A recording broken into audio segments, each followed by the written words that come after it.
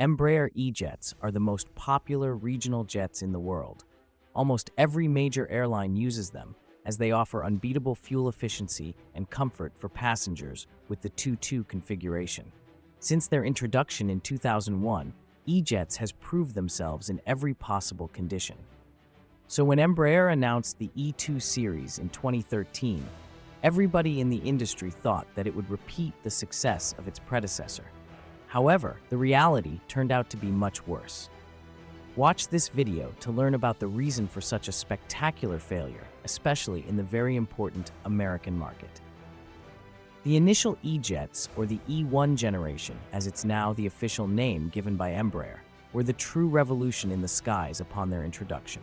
They have been designed not only as a replacement for the older regional jets such as Fokker 100 or British Aerospace 146, which weren't popular outside of Europe, but also as a completely new segment in the market, potentially replacing the MD-80s and 737s on regional routes to hub airports.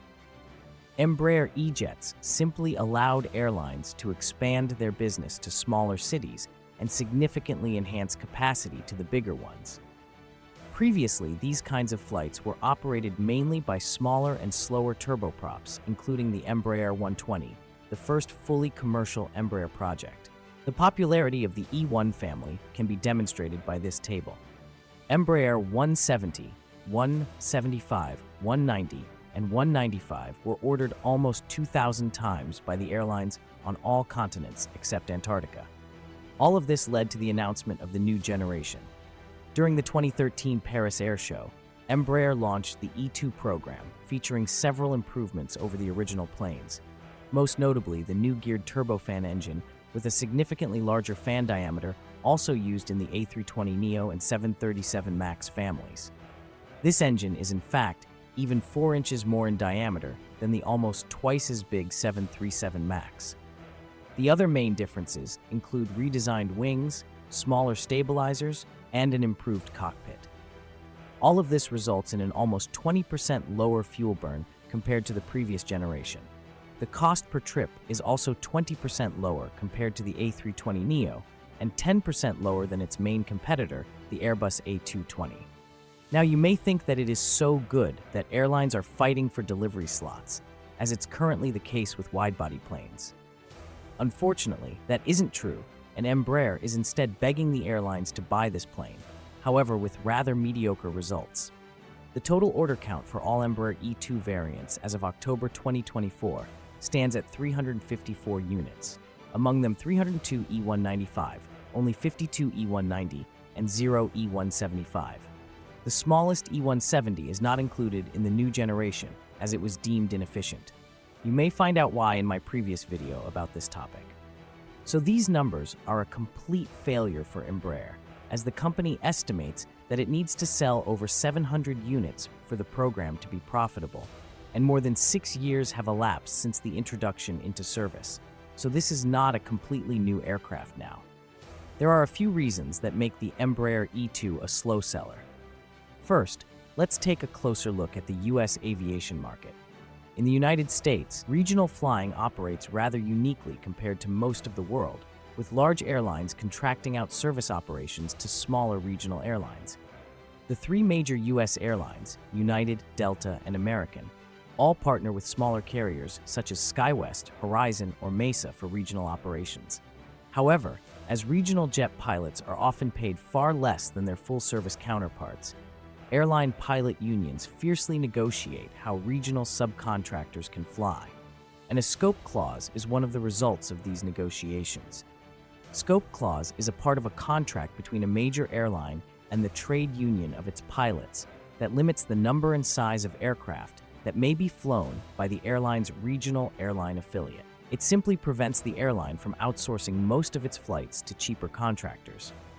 Currently, the scope clause limits regional jets to no more than 76 seats and a maximum takeoff weight of under 86,000 pounds. And this is the answer for zero orders of the E175-E2.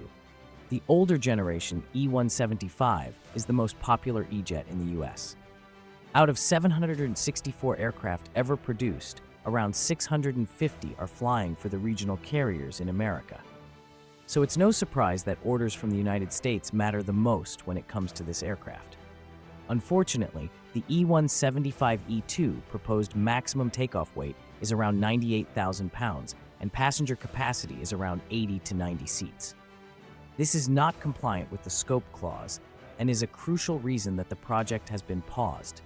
Embraer is now waiting to see if the agreement changes. In the meantime, airlines from the US ordered 170 Embraer 175s in the older variant, however with redesigned winglet design.